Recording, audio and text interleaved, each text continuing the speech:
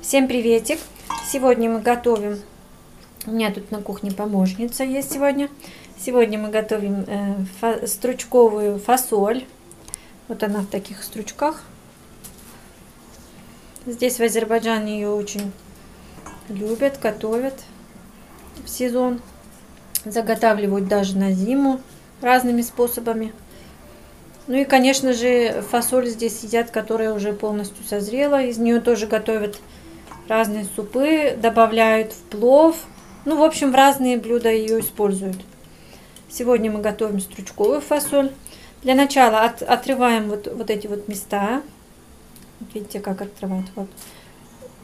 И вот и это место надо отрывать. И вот это ножичком подрезаем и складываем, в общем, в чашечку. И помоем.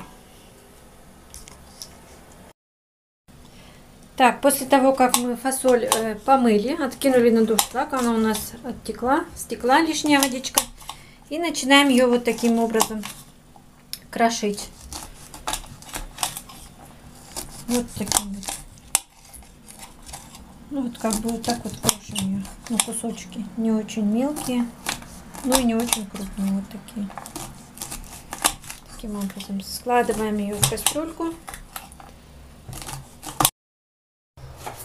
Фасоль мы накрошили. Теперь ставим на газ. Наливаю чуть-чуть водички, ну где-то полстаканчика, стакан вот так на глаз. Чтобы она чуть-чуть протушилась до полуготовности. Накрываем крышкой, будем мешать.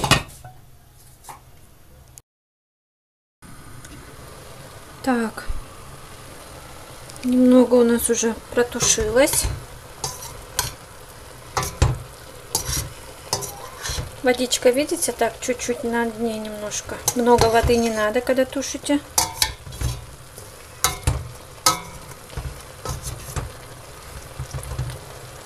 Буквально минут 10 потушите, будет достаточно.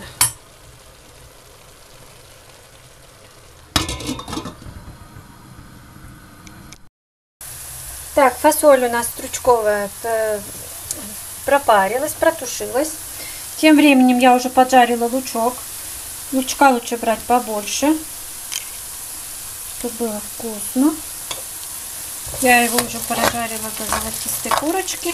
И теперь добавляю туда два помидора больших, крупных помидоров.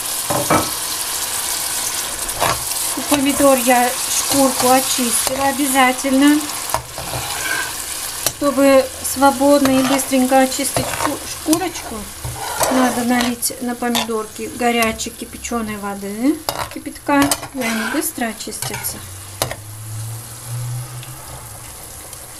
Теперь это все жарим вместе с помидорками.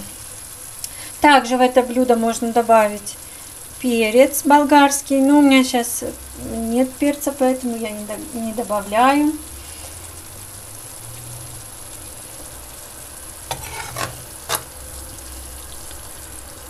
Чуть это все отжарим, обжарим и добавим вот эту фасоль, которая уже полуготовная. Можно сказать, она даже уже, она полностью уже готова. Все, можно уже мягкая. Ням-ням съела.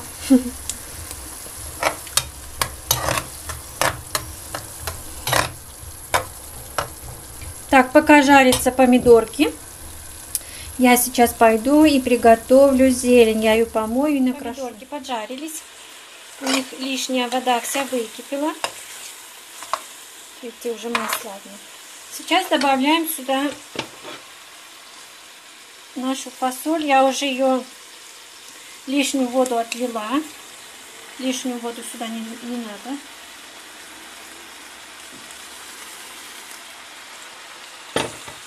Вот, добавляем фасоль. И сейчас все вместе это все хорошенько тушим. Ах, да, забыла. Как добавили фасоль, сразу солим. Солим все это.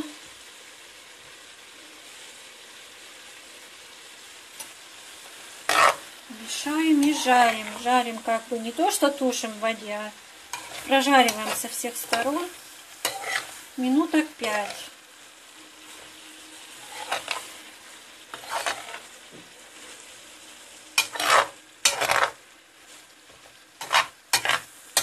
Если вы очень любите помидорки, можно положить побольше помидорок. Три больших или четыре больших помидорки можно положить. Пожарить, вернее.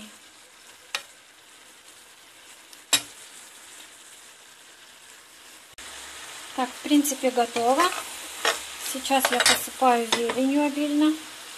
Куда ж нам без зелени, без нашей любую, какая есть. Можно кинзу, можно петрушку, можно, ну, все, что у вас, можно, ну, все, все, какая зелень есть у вас, я уже язык запитается на этой кухне.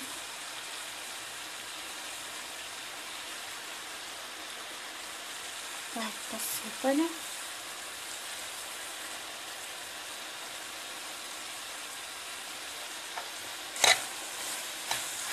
Можно мешать, можно. Чуть-чуть вот так вот ее.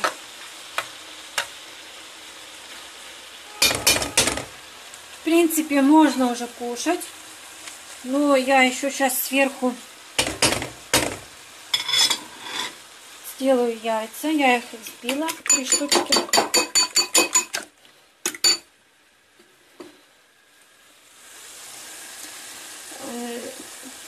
Поливать буду я не, не все, у меня сын не любит с яйцом, поэтому я ему немножко оставлю, а остальное полью.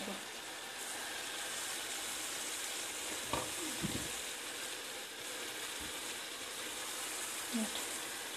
Половину полила, пол, половину не полила.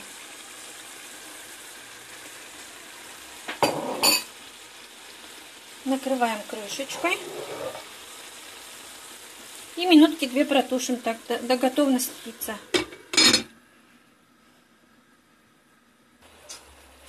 Фасоль сготовилась. Сейчас я ее буду э, накладывать, показывать, как кушать.